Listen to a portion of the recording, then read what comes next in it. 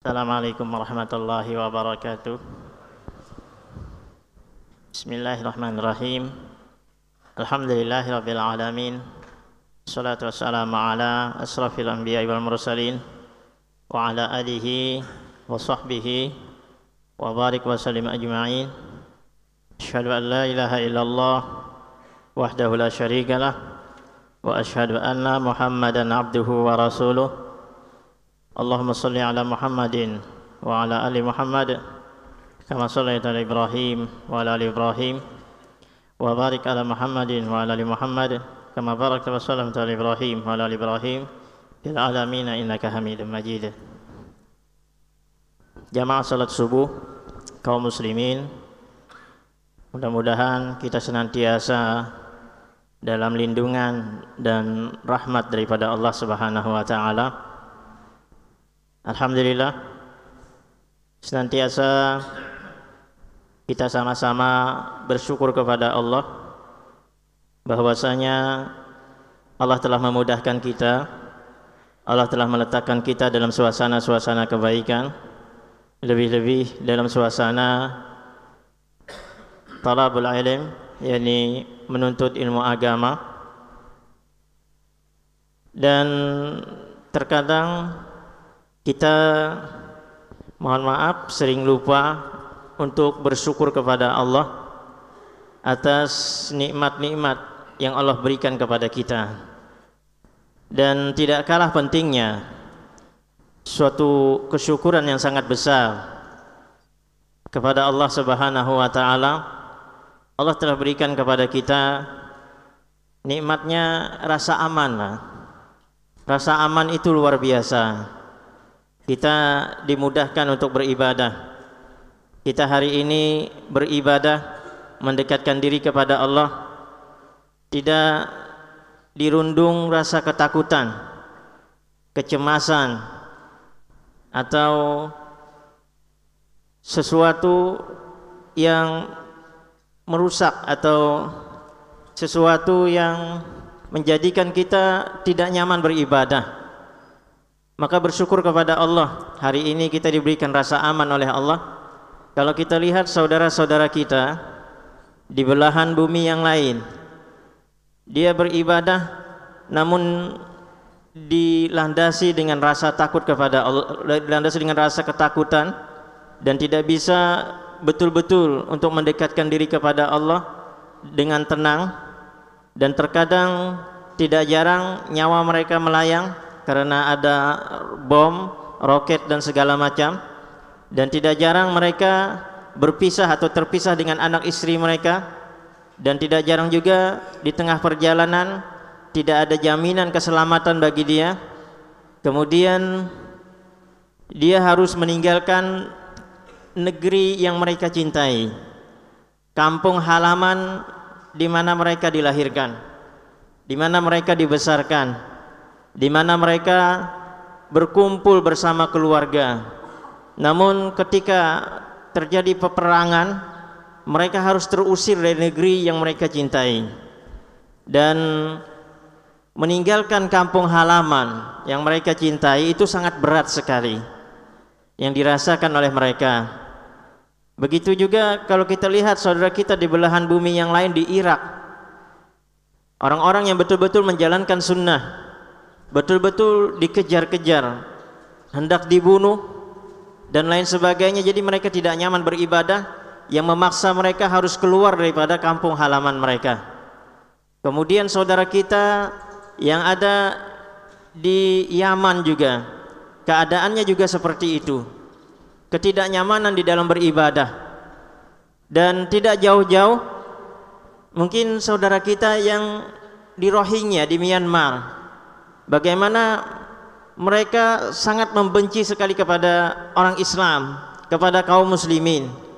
Di saat kaum muslimin itu minoritas di saat kaum muslimin itu sedikit mereka membantai kaum muslimin mereka mohon maaf membunuh anak mereka hidup-hidup menggantung mereka dan mohon maaf memperkosa istri mereka kemudian dibunuh dan mereka pun terancam jiwanya. Kemudian mereka mencari suaka politik keluar daripada negerinya keluar daripada kampung halamannya ini sesuatu yang sangat berat. Dan ketika mereka singgah di beberapa negara mereka ditolak untuk mencari keamanan di negara tersebut. Maka seperti itulah keadaan kaum muslimin di belahan bumi yang mungkin tidak jauh dari kita.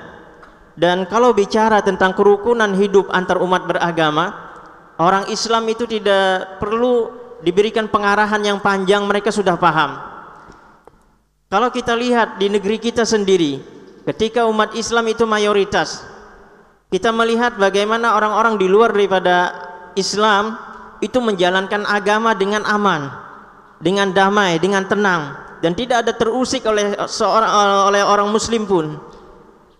Namun ketika orang Islam kaum muslimin itu minoritas, justru mereka ditindas, justru mereka diusir, justru mereka di diancam dengan rasa ketakutan dan lain sebagainya. Dan inilah yang ingin kita bicarakan bahwasanya kita bersyukur kepada Allah. Allah memberikan nikmat rasa aman kepada kita pada hari ini. Kita tidak dirundung rasa ketakutan mendekatkan diri kepada Allah Subhanahu wa taala. Sehingga Allah mengingat-ingat nikmat itu kepada kita ya ayyuhalladzina amanu dzkuru ni'matallahi alaikum Hai orang-orang yang beriman, ingatlah nikmat-nikmat yang Allah berikan kepada kalian. Jadi Allah mengingatkan kepada kita bahwasanya nikmat yang Allah berikan kepada kita itu sangat besar sekali. Kalau kita hitung dengan ibadah yang kita lakukan setiap hari, itu tidak mencukupi dengan nikmat yang Allah berikan kepada kita. Dan di dalam ayat yang lain Allah berfirman, "Wa amma bi ni'mati rabbika fahaddits." terhadap nikmat-nikmat yang diberikan daripada Rabbmu maka ingat-ingatlah ceritakanlah nikmat-nikmat tersebut. Ini Allah menjelaskan bagaimana pentingnya dan bagaimana besarnya nikmat yang Allah berikan kepada kita. Tidak usah jauh-jauh. Nikmat mata yang Allah berikan kepada kita itu suatu yang sangat besar ya mungkin hari ini kalau ada orang yang mengatakan bagaimana kalau 100 juta saya akan beli satu biji matamu. Apakah kita akan menjualnya? Itu nikmat yang sangat besar kan? Sehingga dikatakan oleh para ulama bahwasanya di dalam diri kita ini miliarder kita ini. Tangan kalau ada orang yang ingin membeli tangan kita, mungkin mohon maaf 500 juta, mungkin kita tidak akan menjualnya dan lain sebagainya. Nikmat-nikmat yang Allah berikan kepada kita. Namun karena sifat manusia ini sering lupa sering lalai dengan nikmat yang Allah berikan sehingga Allah menjelaskan bahwasanya innal insana lirabbihi lakanud sesungguhnya manusia itu kata Allah sangat ingkar kepada Robnya sangat lamban bersyukur kepada Robnya jadi ini dijelaskan oleh Allah maka seperti itulah keadaan manusia secara umum. Maka senantiasa kita bersyukur kepada Allah. Allah berikan nikmat yang sangat besar kepada kita, tidak kalah dengan nikmat-nikmat yang lain, yakni nikmat rasa aman. Kata Al-Imam Hasanul Bisri ketika beliau menjelaskan ayat innal insana li rabbih lakanud, kata beliau yazkurul masaib atau ya'uddul masaib. Yakni mengingat-ingat musibah dirinya wa yasan ni'am. Namun lupa nikmat-nikmat yang Allah berikan kepadanya. Dan itu mungkin kebiasaan kita yang dijelaskan oleh beliau bahwasanya terkadang kalau kita itu diberikan nikmat sehat kita terkadang lupa Pak, nikmat sehat bersyukur kepada Allah karena kita merasa sehat namun ketika diberikan oleh Allah sakit sebentar saja kepada kita justru kita sakit yang sebentar tersebut kita banyak cerita dengan kawan-kawan kita saya sakit ini, saya sakit itu, saya ini, itu dan lain sebagainya. Namun kita tidak menceritakan bahwasanya nikmat sehat itu mungkin sudah 40 tahun kita rasakan. Sementara sakit itu mungkin satu atau dua tahun. Jadi masih banyak nikmat sehat. Ini dijelaskan oleh Al-Imam Hasanul Bisri. Sehingga nikmat rasa aman ini sesuatu yang sangat luar biasa. Dan para ulama menjelaskan di antara al-mahabbah at-tabi'iyah yakni kecintaan yang mengikuti kita yang ada dan timbul mungkin dari naluri kita sendiri bahwasanya kecintaan tersebut adalah al-hubbul watan. Yani hubbul watan kecintaan kepada negeri. Ujar bahasa kita itu NKRI harga mati seperti itu Pak. Namun bukan berarti ada hadis yang mengatakan uh, hubbul watan minal iman cinta tanah air itu sebagian dari iman itu adalah riwayat-riwayat yang maudu riwayat-riwayat yang palsu sebagaimana dijelaskan oleh Syekh Albani dalam silsilah hadis daib dan hadis maudu. Namun yang jelas bahwasanya kecintaan kita kepada tanah air kita itu naluriah, Pak. Timbul dengan sendirinya. Sehingga kata para ulama, sesuatu yang paling berat bagi dirinya, bagi seseorang itu ketika dia terusir daripada kampung halaman, itu sangat berat sekali dia rasakan. Dan ini dijelaskan oleh Allah di dalam Al-Qur'an bahwasanya Allah berfirman walau anna katabna alaihim aniktulu anfusakum aw ikhruju min diyarikum ma fa'aluhu illa qalilan minhum Seandainya kami memerintahkan kepada mereka kata Allah untuk membunuh diri-diri mereka jadi di zaman Nabi Musa alaihissalam dan zaman-zaman umat terdahulu itu ada perintah ketika dia bertaubat melakukan suatu kesalahan besar disuruh membunuh diri-diri mereka sendiri. Namun di syariat Rasul Shallallahu Alaihi Wasallam itu membunuh diri itu dilarang. Namun sebelumnya syariat itu dibolehkan pada umat-umat yang terdahulu. Seandainya kami merintahkan kepada mereka untuk membunuh diri-diri mereka dan untuk pergi meninggalkan negeri-negeri mereka. Ini dijelaskan oleh Allah. Awikhruju min diarikum dan menyuruh mereka untuk meninggalkan negeri-negeri mereka. Allah menjelaskan ma fa'aluhu illa qalilam minhum. Mereka tidak akan melakukannya kecuali sangat sedikit di antara mereka.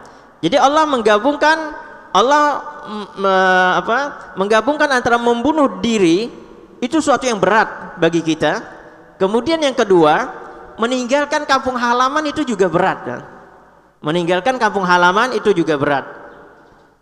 Dan Bani Israel itu dulu pernah berkata wa malana alla nuqatila fi sabilillah wa qad ukhrijna min diyarina wa banaina kata mereka kenapa kita tidak berjihad di jalan Allah sementara kita telah terusir daripada negeri-negeri kita.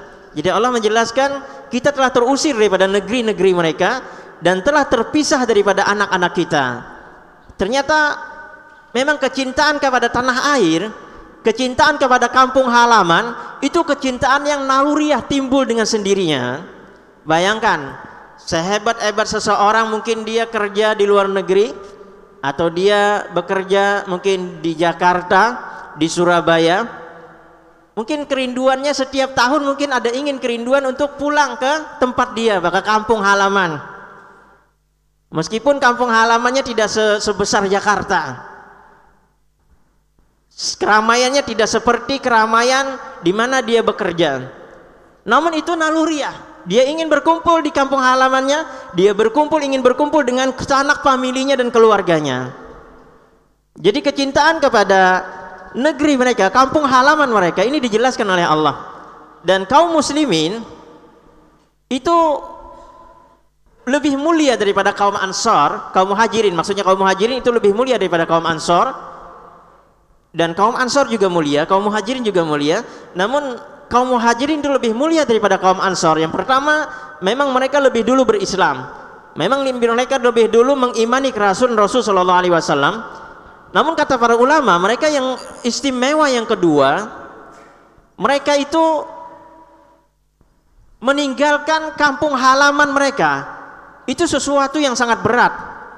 Ini yang membuat mereka lebih utama daripada orang Ansar. Dan sebagaimana firman Allah dalam surah Al-Hasyr ayat 8, "Lil fuqara'il muhajirin alladzina ukhriju min diyarihim wa amwalihim yabtaghuna fadlan minallahi wa ridwanan wa yansuruna Allah wa rasulah." orang-orang fakir daripada muhajirin. Jadi mereka ketika berhijrah, mohon maaf, secara umum kaum muslimin itu orang-orang Mekah itu berhijrah, kaum muslimin Mekah itu berhijrah ke Madinah mereka fakir karena mereka tidak boleh eh, membawa harta benda mereka yang mereka dapat, yang mereka usahakan di Mekah. Dan mereka harus keluar tidak bawa harta. Dan Allah menjelaskan lil fuqara il muhajirin, orang-orang fakir daripada muhajirin. Abdurrahman bin Auf itu kaya, miliarder Mekah pada saat itu. Ketika dia meninggalkan Mekah untuk hijrah ke Madinah, itu Abdurrahman bin Auf itu miskin mendadak. Sehingga diceritakan Abdurrahman bin Auf itu ketika dia datang ke Madinah, ia mendatangi pasar, dia ngutang cangkul kepada salah seorang daripada orang Ansar setelah sore hari itu itu cangkul itu payu eh, laku maksudnya. Kemudian apa modalnya diberikan kepada orang Ansor, keuntungannya untuk Abdurrahman bin Auf dan pada hari kedua Abdurrahman bin Auf itu mampu beli cangkul sendiri tidak ngutang dan seterusnya sampai Abdurrahman bin Auf juga menjadi miliarder di Madinah.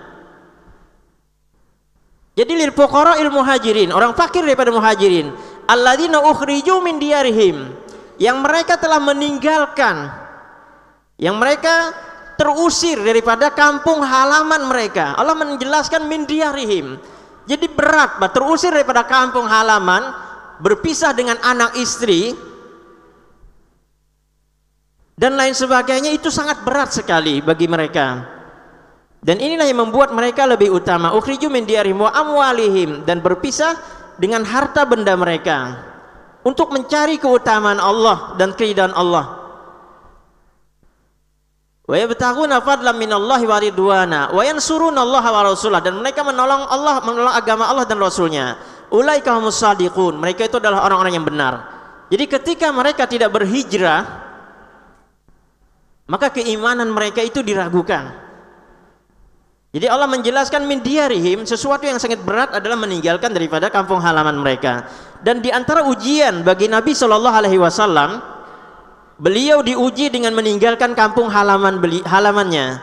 Dan ini terasa berat oleh beliau. Ketika Rasul Shallallahu Alaihi Wasallam menerima wahyu yang pertama di gua Hiro itu didatangi oleh Jibril alaihissalam dan beliau Shallallahu Alaihi Wasallam pulang ke rumah dengan keadaan menggigil, ketakutan. Sehingga Rasulullah SAW mengatakan jamiluni jamiluni, selimuti aku, selimuti aku kata Rasul kepada ibunda Khadijah. Maka ibunda Khadijah paham dan beliau membawa kepada membawa Rasul Shallallahu Alaihi Wasallam menemui pamannya yakni Warakah bin Naufal dan Rasulullah SAW menceritakan kepada Warakah bin Naufal tentang kejadian yang beliau alami. Kata Warakah bin Naufal, "Hada namus alladhi nazzalallahu Musa. Itu adalah namus yakni Jibril alaihissalam yang ianya telah datang kepada Musa alaihissalam kemudian kata Warakah bin Nawfal di dalam sirah Ibnu Ishaq diceritakan kata beliau la tukadzibannahu wa la tu'dhiyannahu wa la kamu nanti akan didustakan oleh kaummu. Ketika mendengar la tukadzibannahu Rasul Shallallahu Alaihi Wasallam hanya diam saja. Kemudian ketika dikatakan oleh Warakah bin Nawfal, wala dan kamu akan diganggunya dan kamu akan disakiti oleh orang kaummu, maka Rasulullah SAW beliau masih diam saja mendengarkan Warakah bin Nawfal. Kemudian ketika Warakah bin Nawfal mengatakan, wala dan kamu akan diusir oleh mereka, maka kata Nabi Shallallahu Alaihi Wasallam, apakah mereka akan mengusirku? Jadi Rasulullah SAW bertanya kepada Warakah bin Nawfal, apakah mereka akan mengusirku kata beliau. Jadi ternyata meninggalkan diusir daripada kampung halaman itu sesuatu yang sangat berat dirasakan oleh Rasul Shallallahu Alaihi Wasallam. Namun ketika Rasulullah Shallallahu Alaihi Wasallam beliau berhijrah dari Mekah ke Madinah, beliau diusir oleh kaumnya, beliau hendak dibunuh pada saat itu. Rasulullah Shallallahu Alaihi Wasallam meninggalkan Mekah dengan mengatakan innaki la khairul ardillahi wa habbu ardillah ardi ilallah sesungguhnya kata Nabi SAW engkau Mekah kota yang baik dan kota yang paling dicintai oleh Allah Subhanahu wa taala karena kalau kita sholat di Masjidil Haram itu sama dengan 100 ribu kali sholat di masjid-masjid yang lain selain daripada Masjid Nabawi. Jadi luar biasa kota Mekah keutamaannya. Maka ini yang dijelaskan Nabi SAW, engkau adalah kota yang paling baik dan kota yang paling dicintai oleh Allah. Laula anni yukhrijatu minki ma kharajtu minki. Kata Nabi sallallahu alaihi wasallam, kalau kaumku tidak mengusirku, aku tidak akan meninggalkanmu.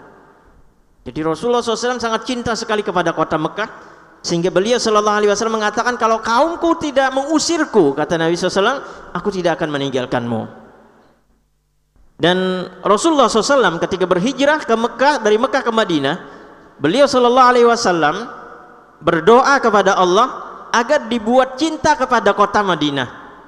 Karena kecintaan Rasulullah SAW kepada kota Mekah itu sangat luar biasa. Cinta sekali beliau kepada tempat kelahiran di mana beliau dilahirkan di mana beliau berkumpul dengan keluarga beliau di mana di situ beliau mempunyai anak dan mempunyai istri. Sehingga Rasulullah SAW berdoa Allahumma habib ilainal madinah kahubbinal makkata au asyad. Kata Nabi Sallallahu Alaihi Wasallam ya Allah jadikanlah kecintaanku kepada kota Madinah sebagaimana kami mencintai kota Mekah bahkan au asyad bahkan lebih lagi kecintaannya kepada Mekah.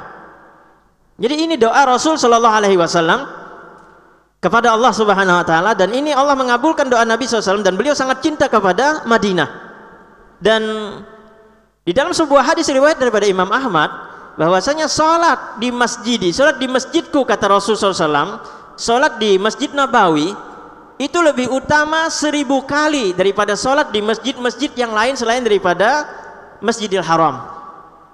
Ya luar biasa orang-orang yang melakukan umroh atau melakukan haji. Mudah-mudahan kita semua dapat datang ke kota suci Mekah, berziarah ke Madinah, mendapat keutamaan hadis Nabi Shallallahu Alaihi Wasallam ini. Dan ini terbukti bahwasanya Allah mengabulkan perpindahan Rasul Shallallahu Alaihi Wasallam. Allah memberikan kecintaan kepada Nabi SAW kepada kota Madinah juga, sebagaimana kecintaan beliau kepada kota Mekah. Dalam Sahih Bukhari ini dijelaskan bahwasanya Nabi Shallallahu Alaihi Wasallam idza qadima min safar ketika Nabi SAW pulang daripada safar wa absara darajatul Madinah. Dan beliau melihat tempat-tempat tinggi dari kejauhan yakni kota Madinah. Artinya terlihat sudah bangunan-bangunan yang ada di kota Madinah. Dan beliau hendak sampai ke kota Madinah. Maka Rasul sallallahu alaihi wasallam auda'ana qatahu Nabi Shallallahu Alaihi Wasallam beliau mempercepat daripada onta beliau. Jadi Nabi SAW mempercepat onta agar cepat sampai ke kota Madinah. Dan ini kecintaan Nabi SAW kepada kota Madinah. Dan ketika terjadi perang Khaybar, ya ini pembebasan benteng Khaybar Yahudi setelah Fathul Mekah itu, kota Mekah dikuasai oleh kaum muslimin, di mana pengepungan benteng Khaybar itu kurang lebih mungkin 24 hari dan Khaybar itu takluk di bawah kekuasaan kaum muslimin di mana Rasul Shallallahu alaihi wasallam mendapatkan harta gonimah yang sangat banyak dan Rasul Shallallahu alaihi wasallam beliau membagikan kepada orang-orang yang mungkin baru masuk Islam atau orang yang dijinakkan hatinya agar mau memeluk Islam seperti Safwan bin Umayyah bin Khalaf yang dulunya membenci Nabi Shallallahu alaihi wasallam. Ketika itu Rasul SAW menjinakkan hatinya diberikan 100 ekor onta. 100 ekor onta kalau harga sekarang mungkin itu lebih mahal daripada sapi pak. Kalau sapi mungkin 15 juta onta bisa 20 sampai 25 juta Rasul memberikan 100 ekor onta kepada Safwan kemudian tidak hanya itu diberikan lagi 100 ekor onta 100 ekor onta 300 ekor onta sehingga kata Safwan sesungguhnya dulu Muhammad Shallallahu Alaihi Wasallam ini adalah orang yang paling saya benci namun sekarang dia berikan lagi, berikan lagi, berikan lagi. Sekarang dia adalah orang yang paling saya cintai. Kata Anas bin Malik ketika mereka masuk Islam pagi pada pagi hari dan mereka menyukai daripada pemberian Nabi Shallallahu Alaihi Wasallam, menyukai daripada onta, kuda dan kambing yang diberikan oleh beliau. Namun pada sore hari kata Anas bin Malik, Islam lebih dia cintai daripada apa-apa yang diberikan oleh Rasul Shallallahu Alaihi Wasallam. Jadi ketika itu orang-orang Ansor melihat bahwasanya Rasul Shallallahu Alaihi Wasallam tidak memberikan harta gonimah kepada mereka. Kenapa Nabi SAW tidak memberikan harta gonimah ini kepada dia? Padahal orang-orang Ansor berjuang bersama Rasul Shallallahu Alaihi Wasallam mati-matian. Taruhannya nyawa. Kenapa Nabi Shallallahu Alaihi Wasallam tidak berikan harta rampasan perang kepada kami, memberikan kepada mereka kata orang Ansor. Dan orang Ansor berprasangka bahwasanya Rasul Shallallahu Alaihi Wasallam setelah ini Rasulullah tidak akan lagi pergi, tidak akan balik lagi ke Madinah. Karena kota kelahiran Nabi Shallallahu Alaihi Wasallam, beliau sudah menguasai Mekah dan beliau akan tinggal di Mekah. Ini yang dikatakan oleh Ansor dan perkataan ini didengar oleh Rasul Shallallahu Alaihi Wasallam dan Nabi SAW mengatakan kumpulkan orang-orang Ansor. Jangan ada yang masuk di tempat ini kecuali orang Ansor. Jadi orang Muhajirin tidak boleh masuk orang-orang dari Mekah, khusus orang Ansor. Kata Nabi Shallallahu Alaihi Wasallam, ya lal Ansor, wahai orang-orang Ansor, aku memberikan harta uh, sampah dunia kata Nabi Shallallahu Alaihi Wasallam kepada mereka untuk menjinakkan hati mereka. Tapi ketahuilah wahai orang Ansor kata Rasulullah SAW, dia pulang membawa harta benda yang dia dapatkan dari saya. Namun ketahuilah engkau pulang wahai orang Ansor dengan membawa nabimu Shallallahu Alaihi Wasallam. Engkau pulang dengan membawa nabimu wahai orang Ansor kata Nabi. Ya lal Ansor. Kalaulah orang-orang Ansor mengatakan bahwasanya wahai Muhammad engkau dulunya orang yang terusir maka kami yang menerimamu wahai Muhammad maka kata Rasul Shallallahu Alaihi Wasallam saya akan katakan benar apa yang dikatakan oleh orang Ansor kalau orang Ansor mengatakan dulu kamu diburu-buru hendak dibunuh maka kami yang menyelamatkan kamu wahai Muhammad SAW maka kata Nabi Shallallahu Alaihi Wasallam saya akan mengatakan benar apa yang dikatakan oleh orang Ansor. Kalau orang Ansar mengatakan, engkau dulu mencari keamanan, lari daripada Mekah ke kota kami untuk mencarikan keamanan dan kami memberikan jaminan keamanan kepadamu. Wahai Muhammad, kata Nabi SAW, kalau orang Ansar mengatakan seperti itu, saya akan mengatakan benar apa yang dikatakan oleh orang Ansar. Dan kata Rasul Wasallam, ya Allah, berkahilah orang-orang Ansar. Dan kata Nabi Wasallam, kalaulah orang Ansor lewat pada suatu jalan dan orang-orang lewat pada jalan yang lain saya akan memilih jalan yang dilalui oleh orang Ansor kemudian Nabi SAW mendoakan ya Allah berkahilah orang-orang Ansor berkahilah keturunan-keturunan daripada orang Ansor berkahilah keturunan cucu-cucu anak-anak daripada orang-orang Ansor dan pada saat itu orang Ansor ketika mendengar perkataan Nabi Shallallahu Alaihi Wasallam seperti itu, orang-orang Ansor dengan menangis mereka mengatakan, "Raditu billahi rabba, wa bil islami dinan, wa mi Muhammadin Shallallahu Alaihi Wasallam nabiyan." Aku ridho Allah sebagai Rabb kami, Muhammad Shallallahu Alaihi Wasallam sebagai Nabi kami. Raditu billahi rabba, wa bi islami Islam sebagai agama kami, dan Muhammad Shallallahu Alaihi Wasallam sebagai Nabi kami. Maka pada saat itu gembiralah orang Ansor ketika apa yang dikatakan Nabi SAW bahwasanya Rasul Shallallahu Alaihi Wasallam tidak akan tinggal di Mekah, Rasulullah SAW akan tinggal di Madinah, di mana mereka berkumpul bersama Nabi Shallallahu Alaihi Wasallam.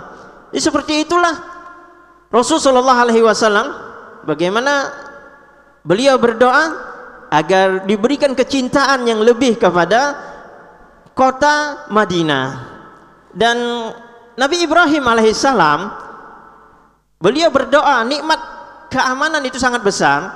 Nabi Ibrahim berdoa, "Rabbi ja'al hadza baladan amina." Wahai Rabb kami, jadikanlah ini Mekah ini kota yang aman. Jadi keamanan, nikmat keamanan ini adalah nikmat yang sangat penting dan nikmat yang sangat besar.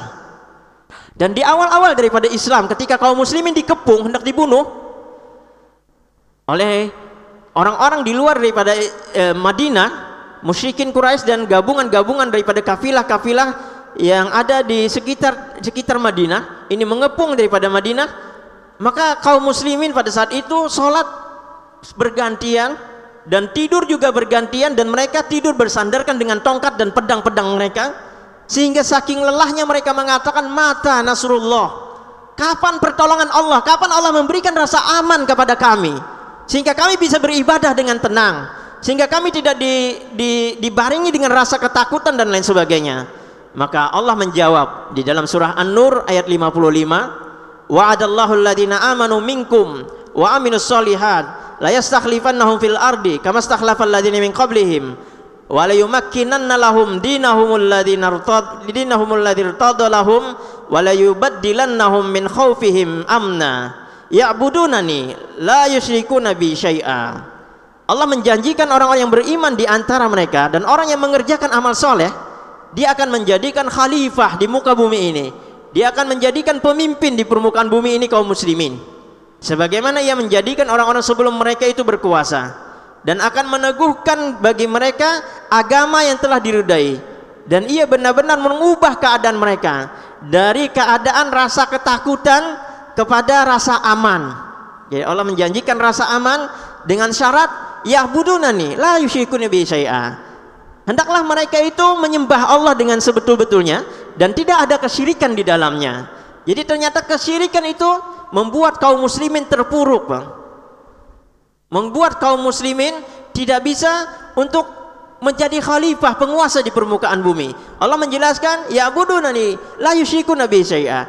Dengan catatan kalau ingin menjadi penguasa di permukaan bumi ini, ingin diberikan rasa keamanan oleh Allah Subhanahu wa taala dan menggantikan rasa ketakutan dengan keamanan, yakni menyembah Allah dengan sebenar-benarnya, mentauhidkan Allah dengan sebenar-benarnya, dan jangan ada kesyirikan di dalamnya. Ternyata kesyirikan adalah sesuatu yang sangat dibenci oleh Allah. Kesyirikan yakni menjadikan Allah tandingan atas makhluknya.